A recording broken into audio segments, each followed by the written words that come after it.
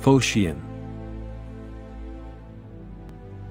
Phocion was an Athenian statesman and military leader who was promoted to general 45 times, according to legend. His political attitude was uncertain, and he was eventually accused of collaborating with the Macedonians and destroying Athens' democracy. He was a student of Plato and known as the Good. One of Plutarch's lives biographies is dedicated to him. Phocion, sometimes spelled Phocion, was Phoco's son and was born in the Demi of Potamioi. He studied at Plato's academy and became a devotee of the great philosopher, according to what is known about his early life. Xenocrates, the philosopher, and Chabrias, the famous general, were among his companions. This illustrious company may explain Phocion's reputation as a staunchly conservative and moral member of the Athenian aristocracy, as well as his famous moniker of Phocion the Good, Ho Krestos. He was also known for his austere living, and he once sent his son Phocus to Sparta to take advantage of their less showy lifestyle and the Athens elite. Phocion persistently opposed the tactics of his contemporary, the famous orator Demosthenes, and advocated for a more pacific approach to the increasingly dangerous Macedonia. Plutarch claims that he never sought office and instead accepted his responsibilities when they were assigned to him. The same could be true of his ideas, he would often voice his opinion but ultimately defer to government decisions. You can make me act against my inclinations, but you can never make me talk against my judgment, Plutarch recalls him as saying, 225. According to Plutarch, Phocion distinguished himself in the 376 BCE naval fight off the coast of rebellious Naxos. His first military duty, according to some accounts, was as a general, strategos, for the campaign in Euboea, in 349 BCE. Following that, he fought on Cyprus, albeit maybe not as a leader.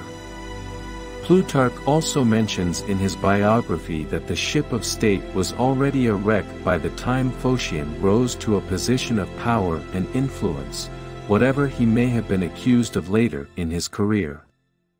Athens had fallen into a lengthy phase of decay from which it would never be able to recover. Phocion is said to have been made a strategos 45 times by ancient historians, which, if accurate, would make him the most honored leader in Greek history. In 343 BCE, he was given the title again, during the campaign in Megara, and then a series of appointments followed. He was general in Euboea again in 341 BCE, and in Byzantium in 340 BCE, when he fought Philip and captured several of his ships, proving that the great Macedonian general was not invincible after all. He commanded in 339 BCE, 338 BCE, and 335 BCE, the latter two demonstrating Phocion's increased political stature in the aftermath of the Battle of Chaeronea, 338 BCE, in which he did not participate as a general, most likely due to his refusal to fight the Macedonians in a battle he believed Athens could not win.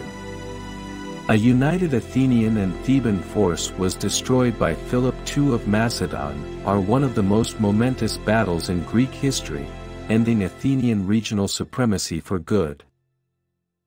Phocion, who was elected to the Athenian Council in 336 BCE, played a key role in the negotiations that secured Athens' favorable status among the vanquished Greek city-states.